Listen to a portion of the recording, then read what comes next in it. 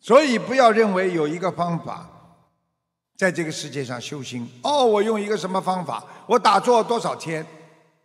所以很多人经常问我师傅，我念多少遍经，这个事情就会好了？师傅告诉你们真话，念到你无我了，这个事情就好了；念到你已经自然的念了，这个事情就好了。没有一个事情说哦，我吃多少药之后，你这个病就会好，没有的。每个人体质不一样，每个人身体的素质不一样。啊每个人承受世界上任何事物的能量也不一样，啊，所以有些人说啊，我打打坐就会好了，我打三年坐、十年坐，你不管打多少年坐，你打通什么经络呀，念个什么咒语啊，你没有到行门呐，你没有理解这个世界，你没有对佛法真正的放下。你怎么能解脱？你怎么能够变成无我？所以很多人经常说：“哎呀，看看这个人，哎呦，修得很好，我也要这样。”啊，对不对呀？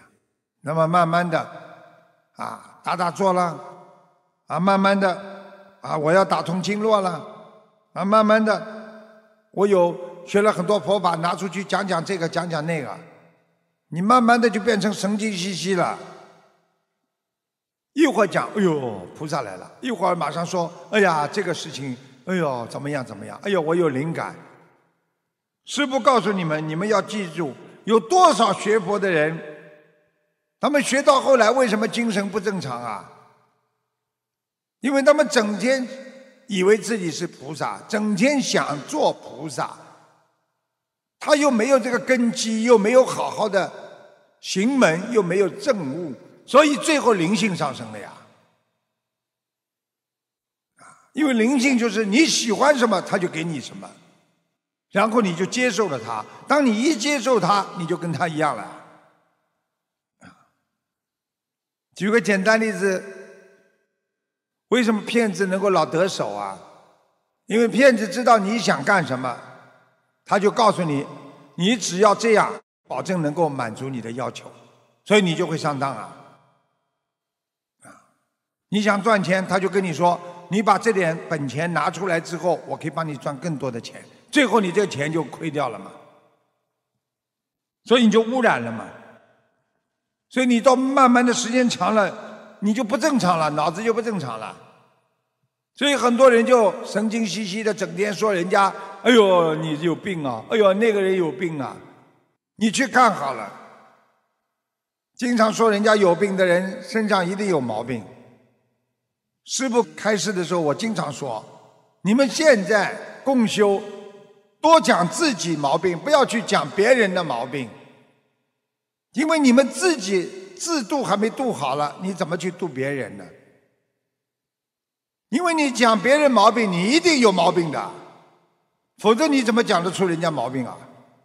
就是你的毛病，所以要严格的自我修行。严格的反省自己，检查自己，关照自己的修为，你才能脱离呀。你以为你坐在那里打打坐啦、念念经啦、放放生啦，你以为就能成功啦？不能啊，要有悟性的，要觉悟啊。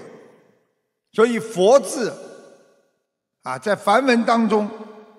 那就是个抉择呀，啊，我们并不是靠着禅坐，也不是靠着放生、许愿、念经，那是全部合在一起的。再根据你自己的精进啊、忍辱啊、禅定啊、般若智慧啊，它全部六波罗蜜集中在一起，你才能成功的。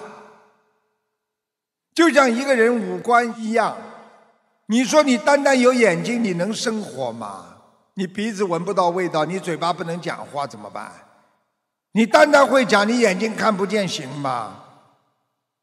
师傅曾经听过一个相声，啊，说五官打架，五个兄弟大家相互不卖账，啊，他们以为啊，耳朵说我听不见，你们能干什么事情啊？眼睛说好了，我眼睛给你们看不见，你听得见也没用。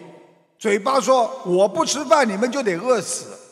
我不说话，没人会理解你，吵得不得了。只有鼻子不讲话。那四个兄弟就问鼻子了：“你为什么不讲话呀？你讲几句给我听听好了。”鼻子就说了：“其实你们讲了这么多都没有用，我最重要。”因为我鼻子一不通气，你们全部死掉。这就是告诉我们，一个人修行也是这样，靠着大家的努力，靠着你身上所有的佛性、你的因素、你学佛的基础啊等等一切，你才能成就你的功德宝山呐。所以很多人念了半天，学了半天，他功德没有成宝山的。